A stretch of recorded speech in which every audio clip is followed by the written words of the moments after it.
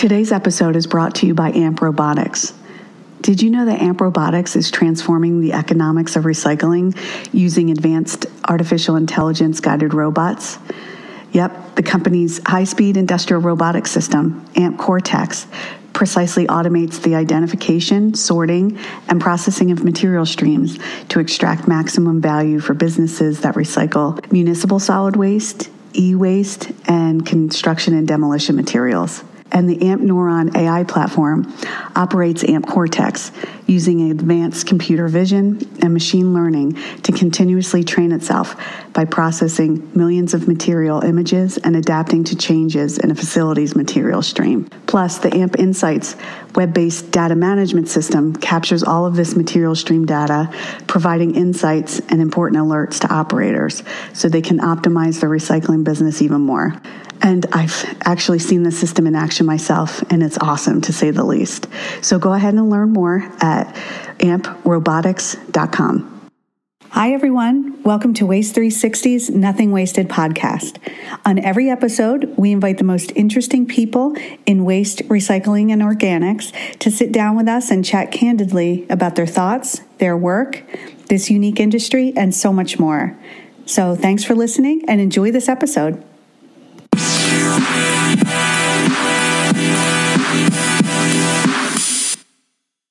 Welcome to today's session. People's Choice Hard to Recycle Items.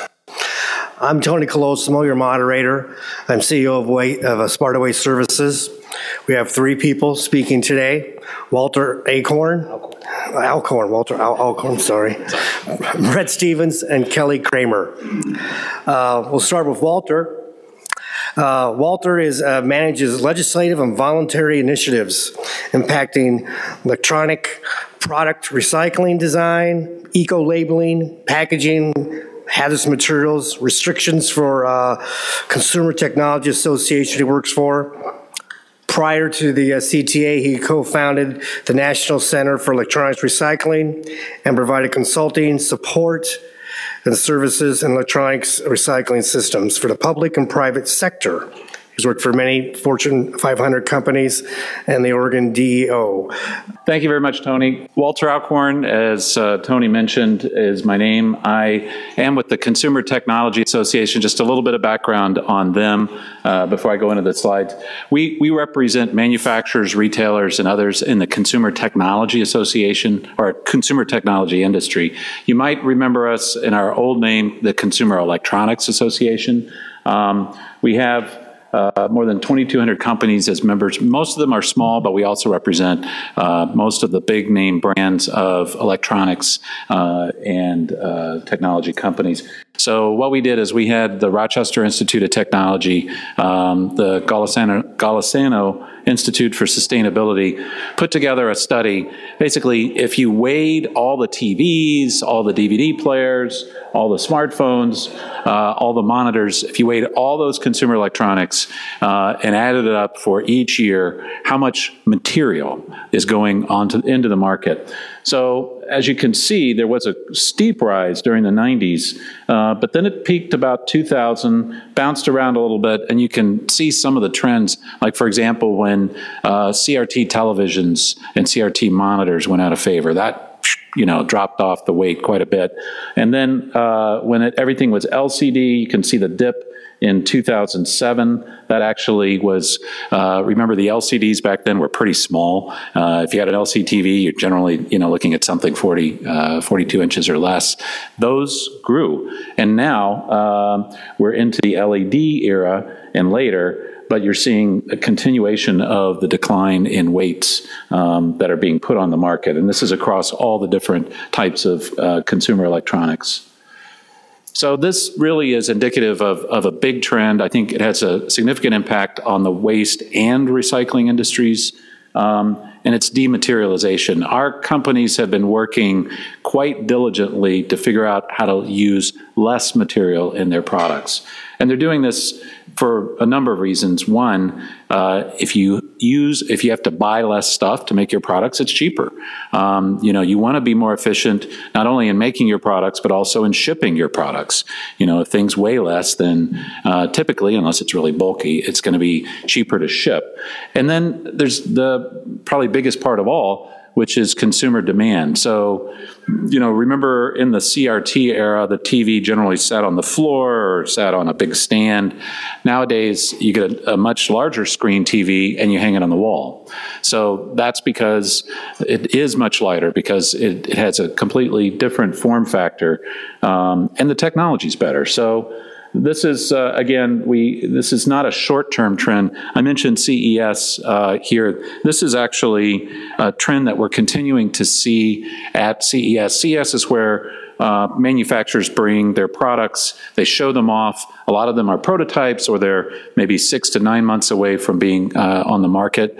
Um, so you can get a glimpse of the near future and in many exhibits, the more speculative future, uh, what companies are trying to do. And we continue to see um, more efficient use of resources in consumer electronic products. That, that trend, I think, is going to be going for um, a significant, well, at least the foreseeable future.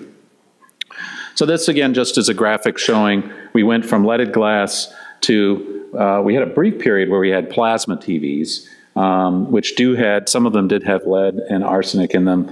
And then uh, we had the LCD, CCFL LCD era. That was about a decade. And those uh, used mercury in the lamps. And now, from about, well, about the last eight or nine years, we have been uh, in the LED era.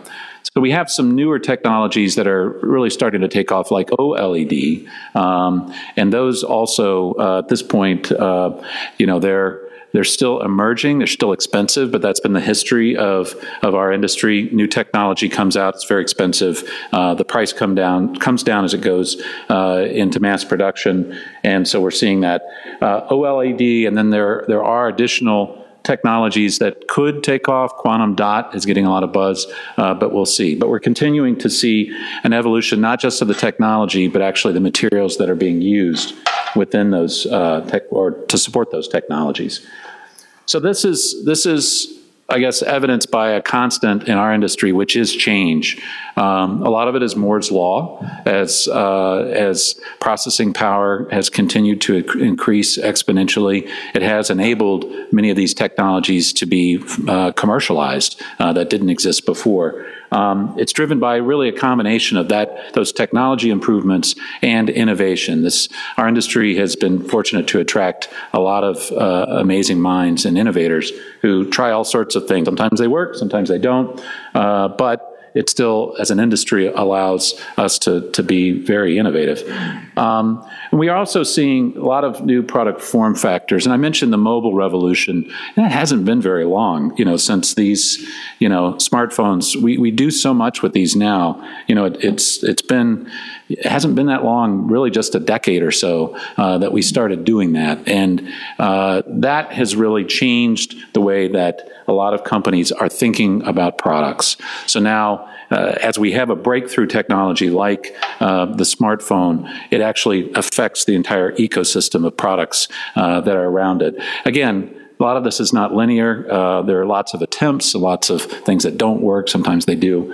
Um, and then, you know, people make a lot of money off of it, I guess. So we're also seeing displacement of older devices. Cameras is a good example. Um, these things are you know, the camera in the new phones is amazing in terms of the quality and the, and what, what you get out of that. So we just don't see the sales of of separate independent cameras anymore. It's just that that market has really fallen off. Um, so convergence is another term that we use to describe that. And then we also see new technology dependent industries. You know, if you didn't have one of these, uh, Uber and Lyft probably wouldn't exist. Um, if you if you had uh, one of these, uh, Airbnb is another industry that, or the beginning of an industry that uh, that really only works when everybody has one of these. So. Um, it's interesting. We do see a lot of change, and I think we're going to continue to see uh, a lot of surprises. I think good things coming out of this as companies figure out how to use the technology and apply it in new ways. So, what does this mean for folks that worry about these products once they're at end of life? Um, obviously, this is affecting recycling markets. Uh, the title of this session is "Hard to Hard to uh, Recycle Products." Yes, uh, some of these electronics, especially historically, are tough to recycle. CRT televisions, CRT monitors are drag. They have leaded glass in the tubes, and that lead is bound up in the glass like you wouldn't believe. It's very difficult to separate that out. So it's been a long-term challenge for a lot of people uh, to manage that. So, but the good news is we're seeing in the newer products less amounts of lead. Again, that's gone with CRTs uh, uh, almost completely. We also have mercury that's gone away now that the CCFL LCD era is is over. Um, but there's also a downside. Uh, you know that's good if you're in the waste and recycling market. We're also seeing more basically boring materials going in. We don't see the same level of precious metals uh, that we saw in the 90s, for example. Um, they've been engineered out. And so if manufacturers can figure out a way to not require the gold or the platinum in, in their devices, they generally don't do that. And so that's been a, a long-term uh, uh, design efficiency improvements. So it means for the recycling side, uh, you really have to be much more selective in terms of finding products that have those types of precious metals. And we still have um, we still have a fair amount, fair number of uh, CRTs that are that are out there. We measure that every year. We do a consumer survey. We're going to do another one this summer. But roughly a quarter of U.S. households still have at least one CRT television or monitor, um, and that's one of the things that causes the entire stream of consumer electronics to be underwater economically. So it costs more. Uh, it costs more to recycle um, those electronics than it does than, than you can certainly get on the back end in terms of of any uh, revenue. Um, and then collection is, is a big challenge. That's that's probably one of the toughest things uh, for our products, getting them out of people's homes and into the recycling stream. Um, because you know the folks, you guys know this a lot better than I, but but uh, particularly for the larger TVs, they're not easy to ship. I mean, you, you just you depending on what kind of uh, what kind of transportation infrastructure you've got or what kind of trucks you have. Um, most folks don't really have an easy way to collect those. They often require special collections uh, or drop off facilities. So here's some of the challenges going forward. We have a number of state laws in the U.S. specifically on consumer electronics. So we have 25, to be exact, 25 states that between the years 2004 and 2011 uh, enacted laws that require or uh, have some mandate associated with recycling electronics. So they're getting a little bit dated at this point. Um, they were really constructed in a way that um, CRTs were the big challenge, and I think that was on everybody's mind whenever whenever those laws were were written. And they also assumed that there would be either most of the, not all of them, but many of the laws assume that there would be a continued increase in e-waste, as we call it, um, over time, which has not exactly happened because remember that initial graph that I showed. The inputs and the material inputs into our industry peaked about 2000 and have really come down since then. Um, we also have uh, we also have a, a pretty a hefty financial burden on our industry. So, as somebody who works for a trade association, represents a lot of these companies, I certainly hear about it a lot in terms of how the, how much these companies are paying. It's it's over hundred million dollars a year our companies are paying just to recycle uh, and associated costs associated with recycling electronics. So it is definitely uh, underwater in terms of uh, uh the industry without this. So I, a couple of other things I want to mention. Batteries. Remember I mentioned the mobile revolution? Well, with that, we get a lot of lithium ion batteries. Um, and that is changing. You know, it used to be, uh, well, there were previous battery chemistries like NiCad, you know, and that was certainly a problem in terms of uh, worried about landfilling. Um, now lithium ion batteries are, are the dominant battery chemistry. Um, we're also seeing non removable batteries. That creates uh, some challenges, but it also, uh, frankly, keeps uh, consumers from pulling out the battery and putting the wrong one in. We have a lot of specialization going on in products like this that uh, if the wrong battery gets in there, there it does create fire hazards. I hear about that a lot. The big issue uh, here, and probably many people here know this, is fires. That this is basically something that uh, I've heard. I know with MRFs, um, you know, when these batteries do get taken out, or products containing batteries, and they get thrown into these into the recycling bin, they can create problems. Transfer stations, I know they have problems. Uh, so this is this is really more of a, I would call it more of a safety issue than a landfill, you know, exposure issue or leachate issue. So, um, and that's one of the big challenges we have because uh, these lithium ion batteries power most of our devices. So this is this is something that um, until the big brain somewhere figure out new battery chemistries, we're going to be dealing with this for a while. Um, hopefully that will happen uh, in the foreseeable future. There are a lot of people working on it, but uh, but for now, this is this is definitely something we're we're all paying attention to. And then just on a policy basis.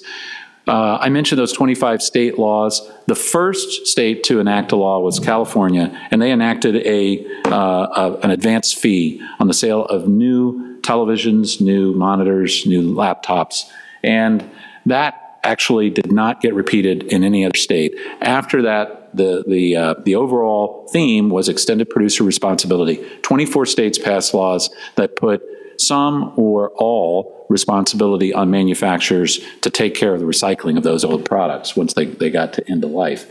So that is that that was pretty much done with the presumption that manufacturers, if they had to do it, be responsible for it at end of life, they would be incentivized to produce things that are more recyclable. And what we've seen is there's total disconnect. That's not been a driver, at least in our industry, because uh, showing earlier the change in the technology and Moore's law, those really have driven product design much more. And even though there have been environmental benefits, I'd love to be able to claim that our industry did all these things because it was right for the environment.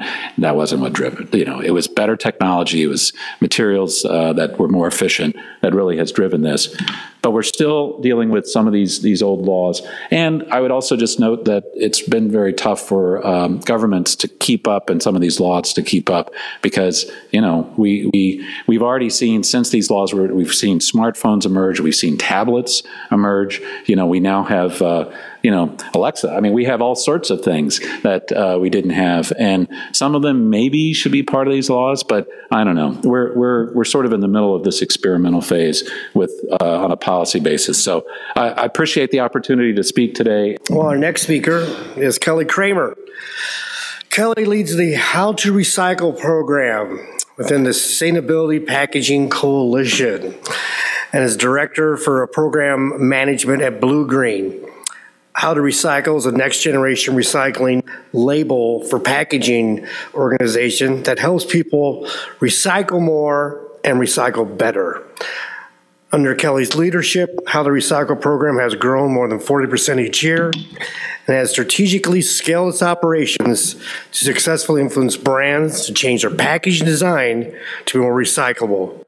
Uh, with that, and by the way, you know, she's an environmental attorney and, and a vol, you know, coming from Tennessee. Kelly. Hi, everyone. I'm really happy to be here today. As was mentioned, I'm Kelly and I lead the How to Recycle program at Sustainable Packaging Coalition.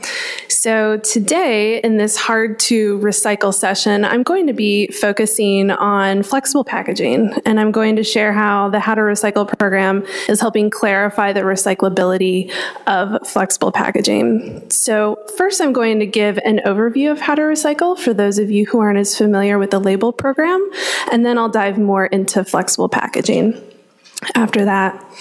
So, How to Recycle is an on package recycling labeling system, and it can be applied to any product, any package, any material, and any format. And the reason is because we also tell people when not to recycle something. The label has been out since 2012 and is a project of Sustainable Packaging Coalition, and we are a 501c3 nonprofit in Charlottesville, Virginia. So this is our label design. The way that it works is we tell the consumer what to do with every part of their package. So we don't just say, oh, recycle the paper box.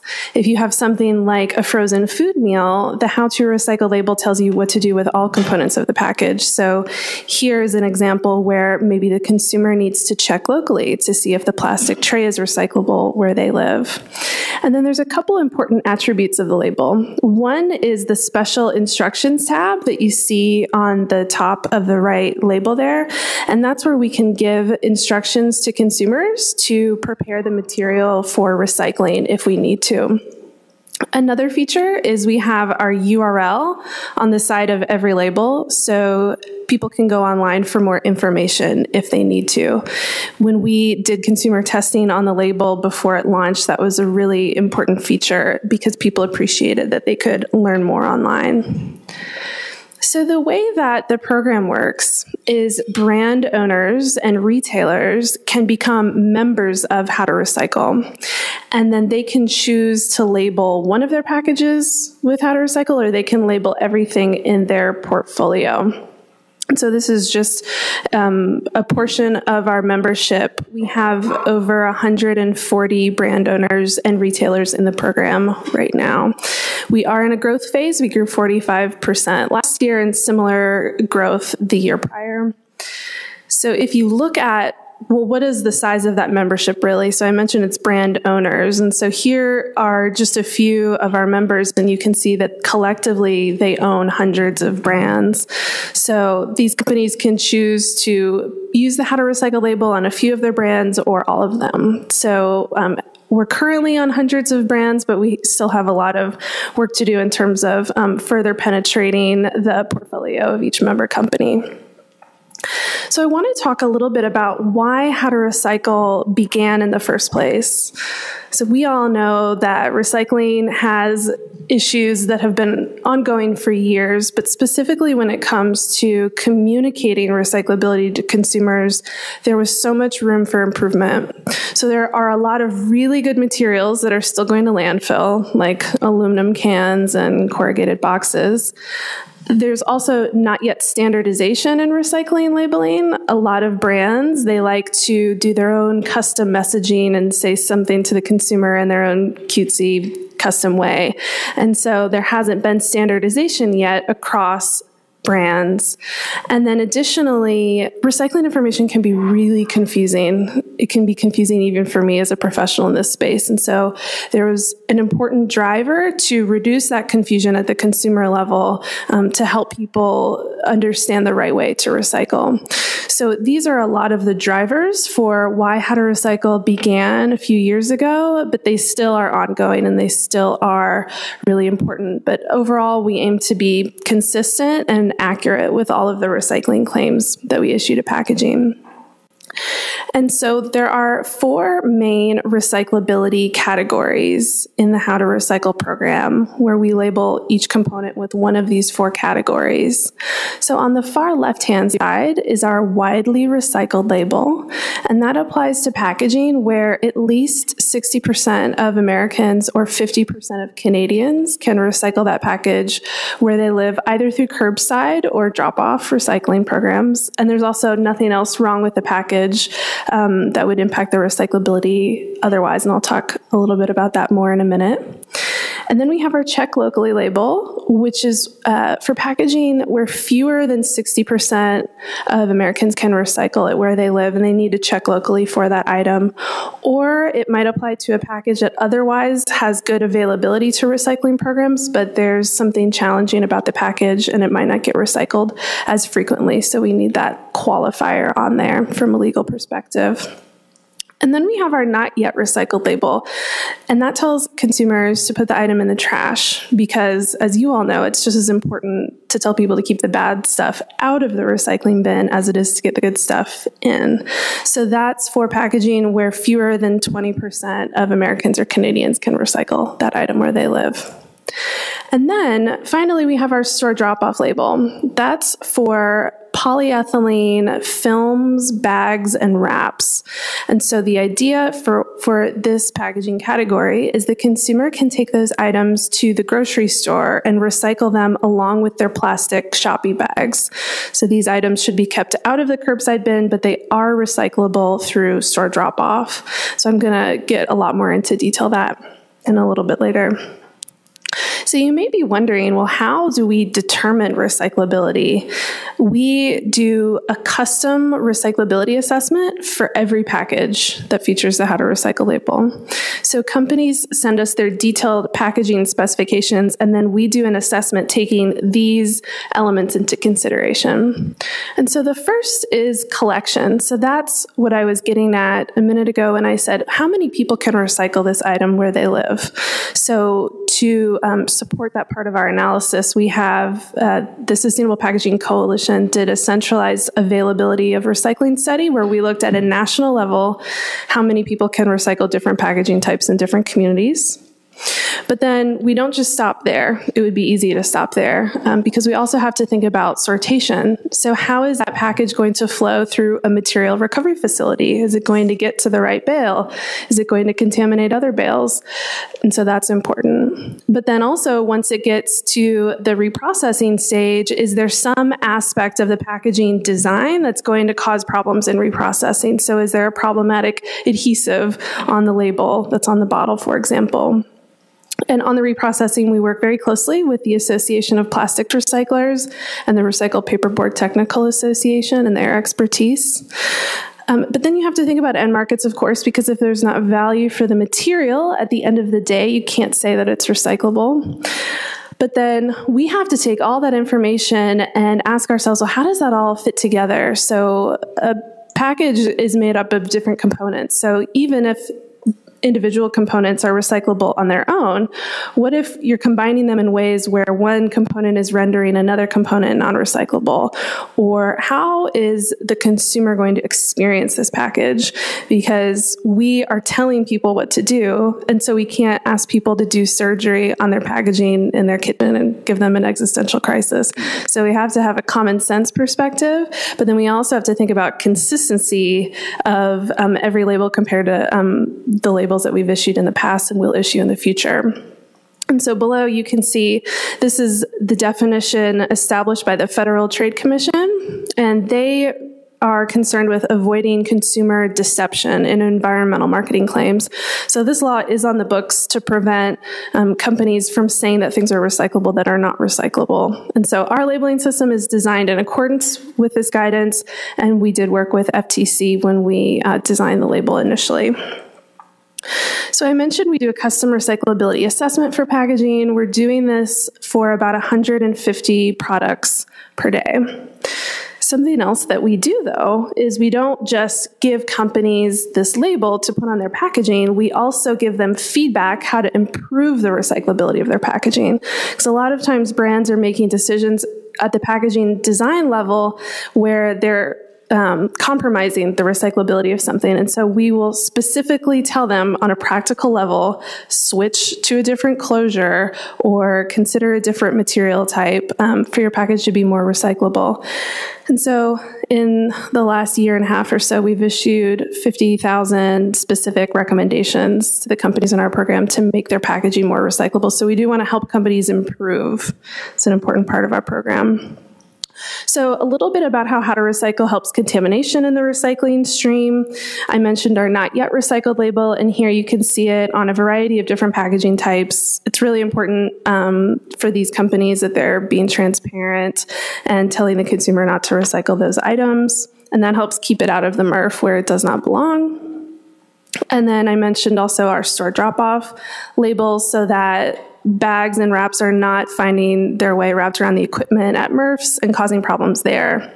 So here are some examples of the store drop-off label in the wild. This is from a bale audit of a store drop-off bale that we did. And you can see it's on a variety of packages like toilet paper wrap and e-commerce mailers and case wrap around drinks and that sort of a thing. Another way that How to Recycle helps with contamination is by um, distinguishing between look-alike packages. So in an ideal world, a package that looks the same is as recyclable as another package that looks the exact same. But unfortunately, packaging engineering is really complex and there are nuances in packaging design that are not immediately visible to people. And so here's an example of how the how to recycle label distinguishes between those look-alike packages. So here you have a stand-up pouch. They're becoming increasingly ubiquitous in the marketplace. The vast majority, 99% I would guess, are not recyclable because they're made of multiple materials. Um, and so it's important to tell the consumer not to recycle most of them, but companies are innovating packaging to flexible packaging to be able to carry the store drop off label. So the package on the right can be recycled through store drop off. You may be wondering, well, does the label make a difference? We're confident that it is. We have a survey on our website where we ask people about their experience with the How to Recycle label, and 61% of them say that they're changing their behavior as a result. So they're either recycling more or they're not recycling things they um, aren't supposed to be. And then similarly, 82% say that they're learning about recycling from the label. And so this is really important that we have this information on packaging. 67% of people, if they don't see a recycling claim on the package, they assume that it's not recyclable. So sometimes we hear people say, well, everyone knows how to recycle a PET bottle. Well, this suggests that a lot of people will throw it away unless if there's a recycling claim on the package. So it's really important to us that we increase the number of companies in our program and we encourage them to use the label on as many items as possible. So now I want to switch more and talk about flexible packaging in a little bit more detail. So I mentioned that we're a part of Sustainable Packaging Coalition, which is a membership organization where companies from all across the packaging supply chain come together. So material manufacturers and packaging producers, and then brands and retailers. Um, so we have a really good idea of what's happening in the packaging space and into the future. And there is a really big movement towards flexible packaging. Now, this isn't to say that all packaging in the future is going to be flexible or that it should be, but that's certainly where we're headed. For example, check out this market share of packaging types. On the far left hand side is flexible pl plastic, which is double greater market share than the next highest, which is PET bottles. So I believe this is globally, but uh, flexible packaging is a huge part of the market and it's going to continue to increase. 83% of brands are currently using flexible packaging, but that's going to increase over the next five years. This poll by Flexible Packaging Association finds 31% of brands are intending to increase their use of flexibles. One of the reasons why this is not a surprise to us is because of corporate sustainability goals. So there are a lot of emerging corporate goals for packaging.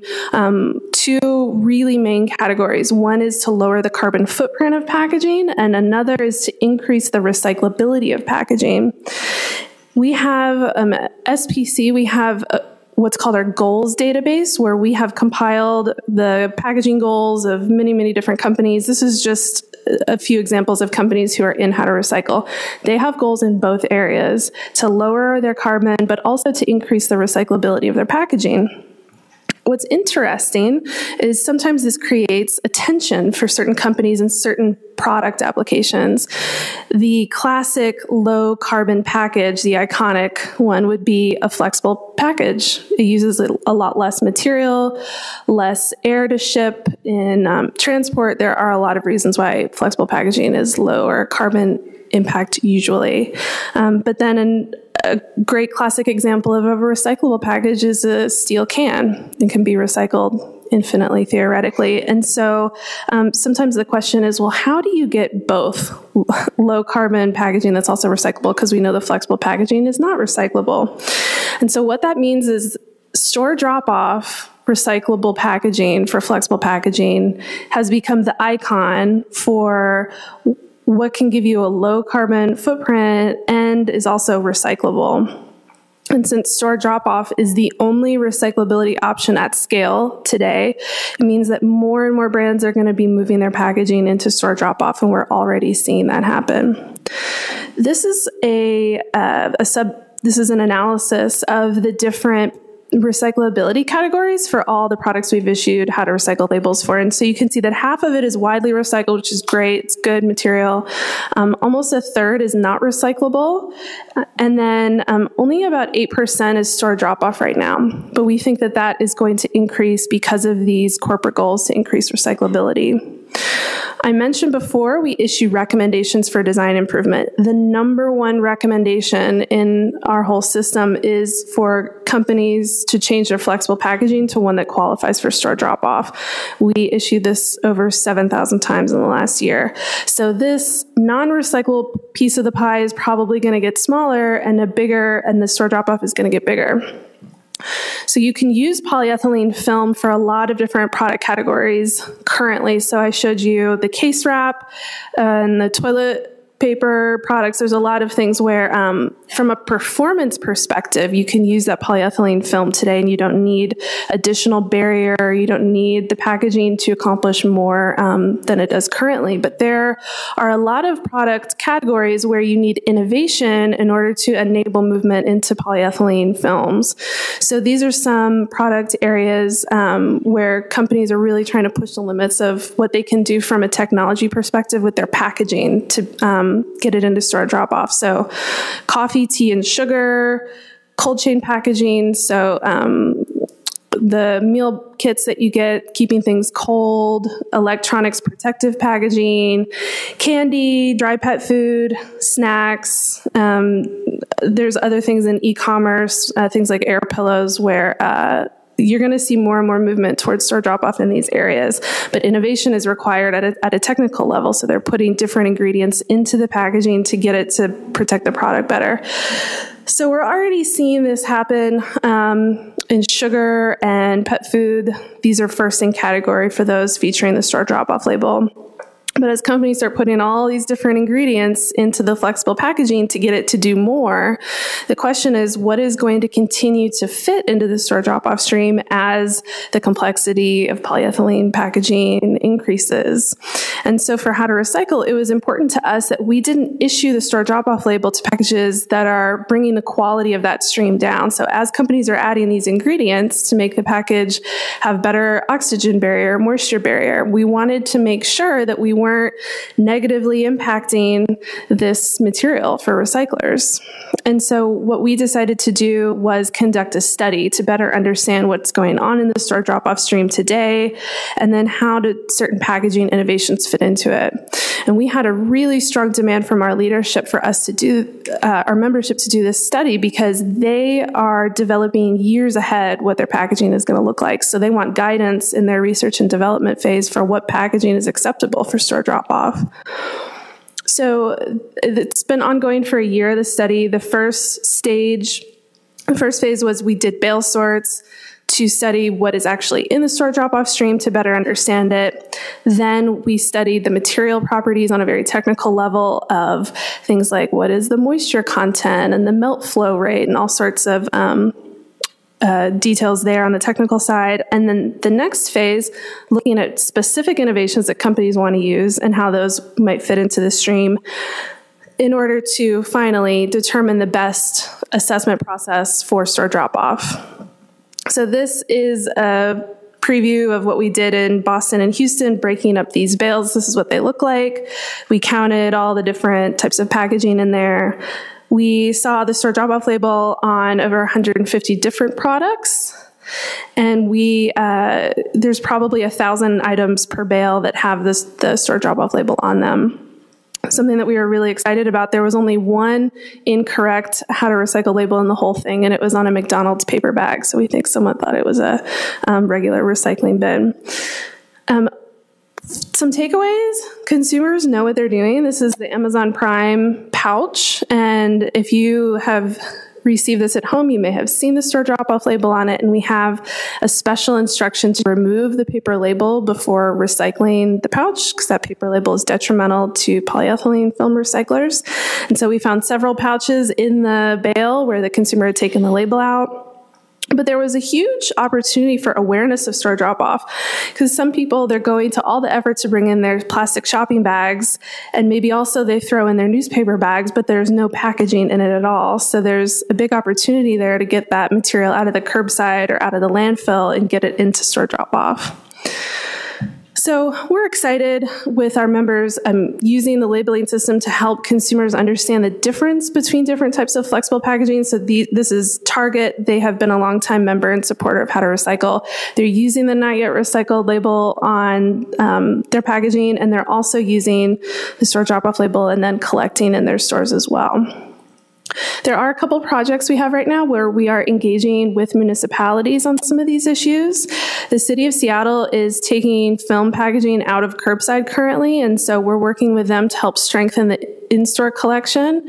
And then we're also working with the recycling partnership in Orange County, Florida. Um, and the partnership does messaging for um, carts at the curb and things like oops tags and direct mailers. And we're going to um, align the how to recycle messaging with their messaging on the ground. Thanks so much. Our next speaker is Brett Stevens.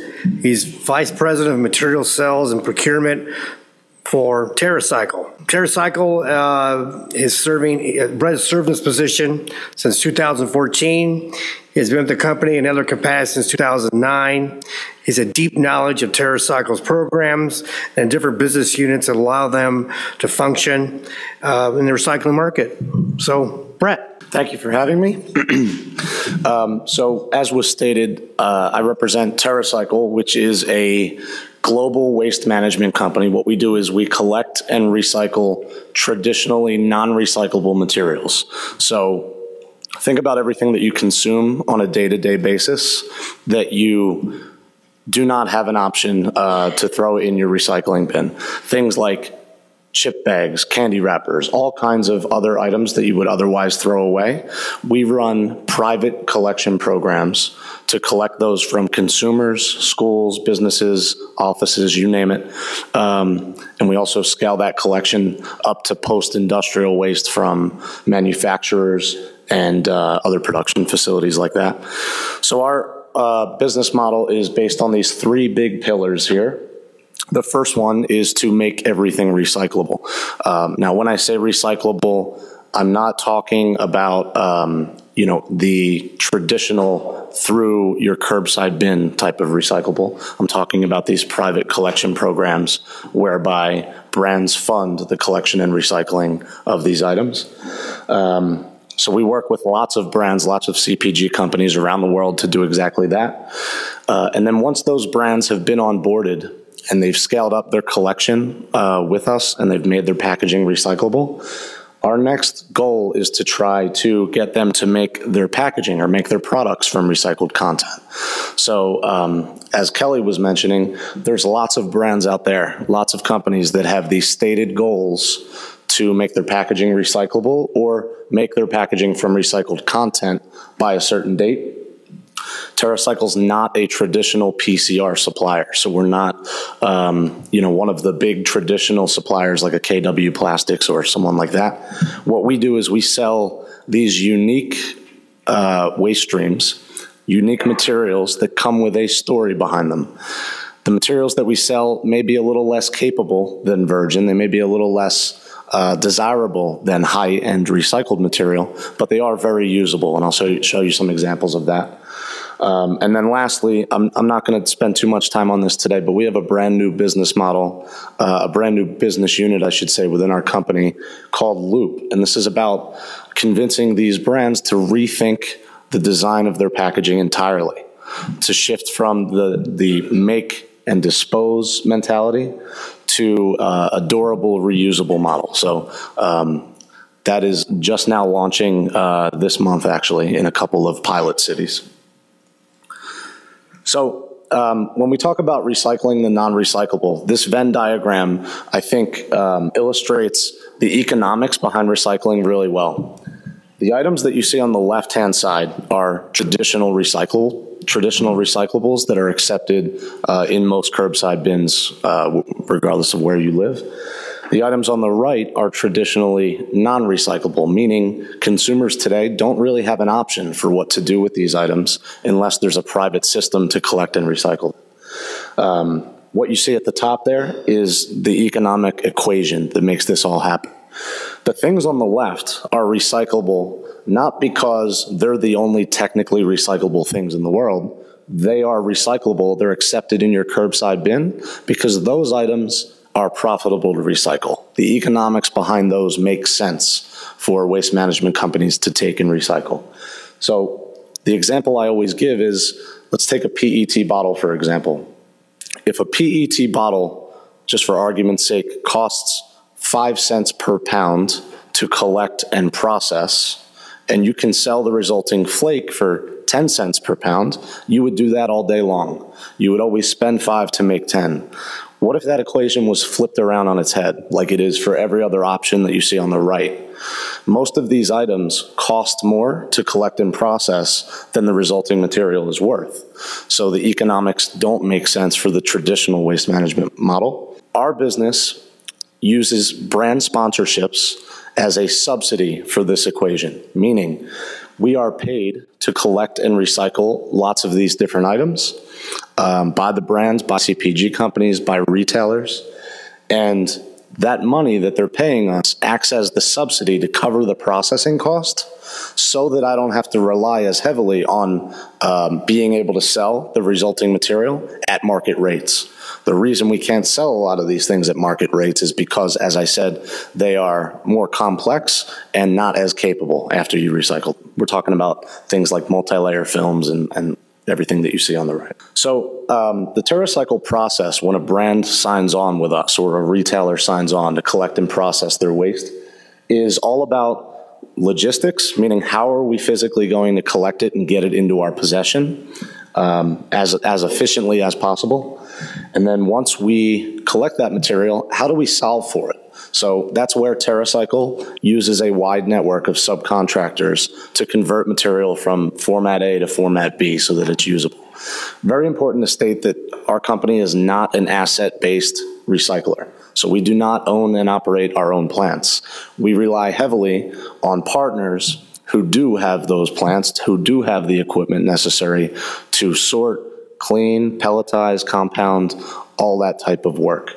Um, and we use hundreds of these companies around the world today, um, either on a tolling basis, meaning I'll provide our material to them, I'll ask them to do a service for me and give the material back, pay them a per pound rate to do that, uh, or we'll use those companies um, as outlets for material if they have a need for that feedstock for their own supply chain.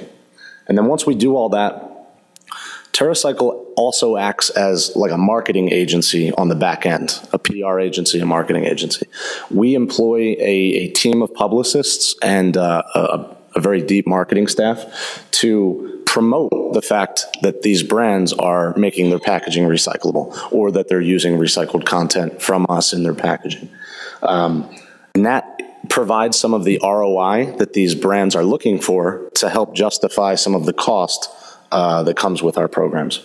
So I talked a bit about um, logistics. How do we physically collect and get material into our possession? This is a sampling here of a number of different logistics models that we use uh, for different customer bases that we have. For instance, um, in the top left corner, there's a box that uh, a lot of optometry offices around the country now have to recycle contact lenses. So this is a box that is a cardboard box, not very big. We're talking about three feet tall. Comes with a prepaid UPS shipping label on the side of it. It is designed to collect one very specific stream, the contact lens waste. That material gets shipped back to TerraCycle, where it is um, aggregated with other other um, contact lens waste.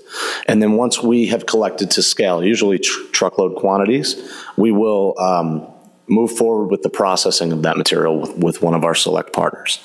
So this is an example of how we have multiple logistics models depending on what the need is. The next one on the right there is uh, for a program that we operated with Target to collect and recycle um, car seats. So that is more of a freight-based collection model where uh, there's Gaylord boxes sitting on a pallet in Target stores. Consumers come in and drop their car seats off.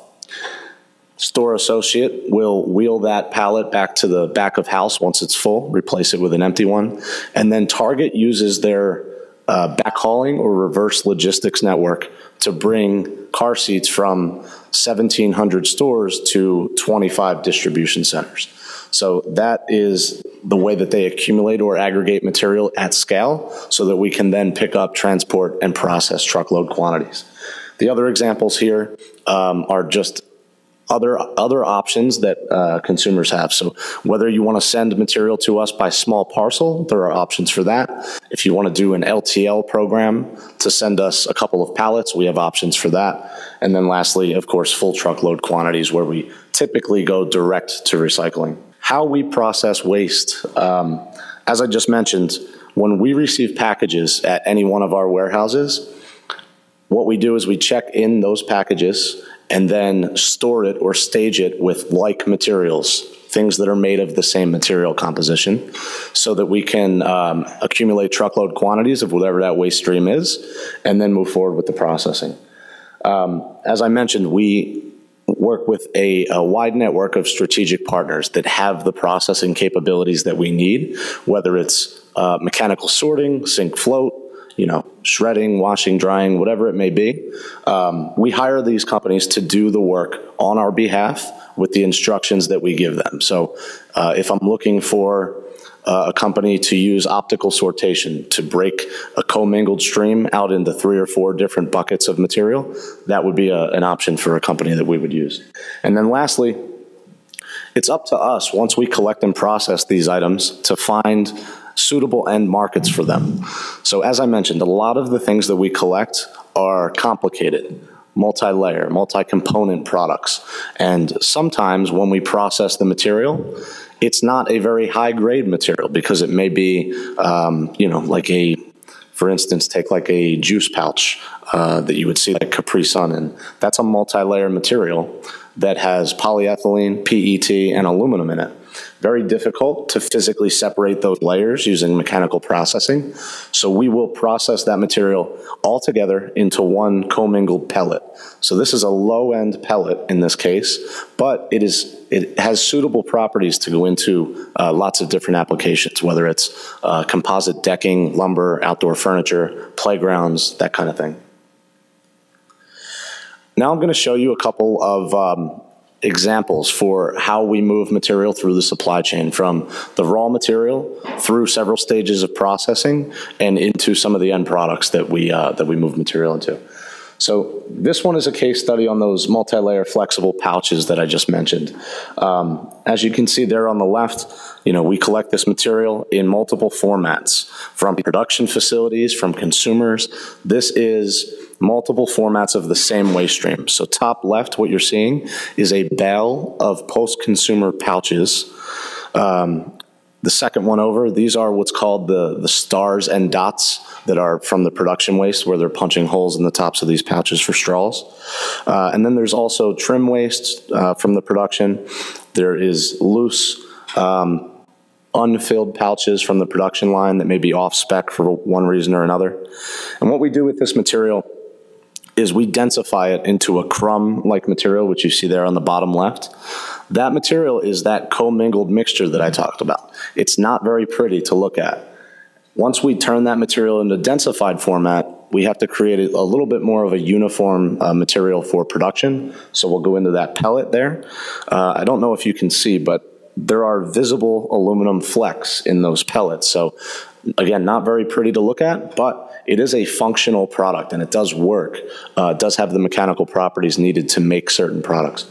And so the example here is that that material goes into the core of these composite uh, lumber pieces here. So there are lots of companies. If you walk up and down the, the aisles at a Home Depot or a Lowe's, lots of companies that sell composite decking. Some of them use um, a, a capped product, meaning they put lower end material into the core, and then they'll cap it with a, a nicer recycled HDPE on the outside for texture and color and whatever else they need. Um, but that's one example of, of how a unique material can go into a functional end product. Another example here is um, flexible multi-layer um, packaging from the snack bag industry. So whether this is a chip bag company or a uh, candy company, these are also multi-layer packages. Dominant polymer here is polypropylene with a small, a small amount of polyethylene. What we do is we take this production scrap that is obsolete for one reason or another. Maybe it's misprinted, maybe uh, it's just an overrun, maybe it's a seasonal product that the SKU is no longer being sold. So we'll take that product and we turn that into pellets as well. And as you can see, those pellets there on the bottom left, they're like a army green, grayish color. Reason for that is because of all the ink on the packaging. I like to use the analogy of, you know, when you're a kid and you have watercolor paints, if you muddle all of those colors together, you end up with this kind of uh, army, army green type of color. That pellet is a polypropylene copolymer, which can be used to make a number of different uh, molded products. Some examples I've shown, I'm showing here are the interior plastic liner for a cooler. This is a private label cooler that is sold at Walmart stores around the country. Um, and they, they take these pellets and inject, dye them black and injection mold them into that um, cooler liner. Another example is with our partners at Expo, where uh, we've put this material into what they call an Expo ledge. This is a plastic, uh, injection molded plastic product that can clip onto the bottom of a whiteboard. Uh, so many whiteboards that you may have on a wall don't have that ledge on the bottom. This, this is a clip-on uh, tool for that. And then lastly, a really big output for this type of material is the uh, plastic pallet industry. So uh, we work with a number of companies who make recycled plastic pallets out of polypropylene, and this is a perfectly suitable material to go into that application. Last example here I'm going to show is the um, a case study on our beach and ocean plastic supply chain. So we are um, actively collecting through a network of volunteers and, uh, and, and other types of organizations around the world, actively collecting legitimate marine plastic coming from beaches, oceans, rivers, and lakes. And this material is very degraded. It's been sitting out in the sun, so there's UV degradation. It's been sitting in salt water. The material is, you know, it's it's mucked up. It's dirty.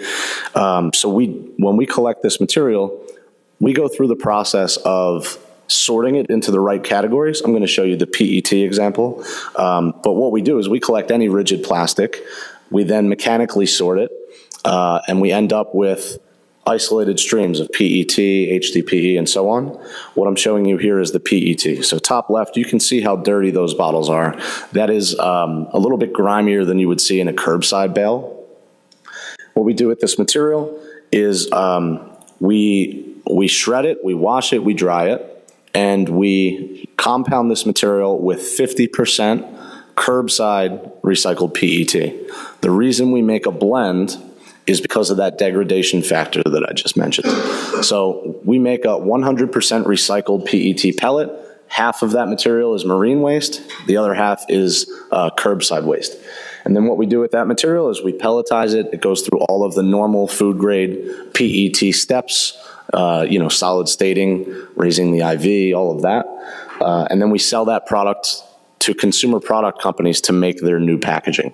Some examples here, this is Fairy dish soap bottle. It's the, um, the European version of like Dawn dish soap. And uh, we also sell this material to Unilever. They make a Ren skincare bottle from this. And there's a number of other companies in multiple industries that are also trialing this material now. Um, but the story here is that these brands can not only make their packaging from recycled content, but they can tell a very powerful story by using these unique materials. Curbside recycled content in packaging is great, but there's only a finite supply of that material. And as brands are making these proclamations to use um, more and more recycled content, there's only so much of it out there, so much of the high end material that these brands need. And so part of my role is to try to convince these brands to be a bit more open minded. And as long as the material is mechanically workable, whether it can make a functional product, um, they should give it a try. And uh, like I said, we, we have that marketing agency function. So after we sell this material, we don't, you know, that's not the end. We don't just send an invoice and thank you for your business. We then help these brands promote what they've just done. We will help them sell in this product to their key retail accounts. We will uh, pitch this story to all of our um, all the journalists that we uh, that we work with regularly. And the idea here is we're generating buzz on behalf of these brands, not only for doing the right thing by reusing recycled packaging, um, but to, to tell the story about uh, the innovation. Thank you very much. All right. Well, I think that's it. Thank you all for coming, and I'm sure you can come talk to some questions after. Thank you.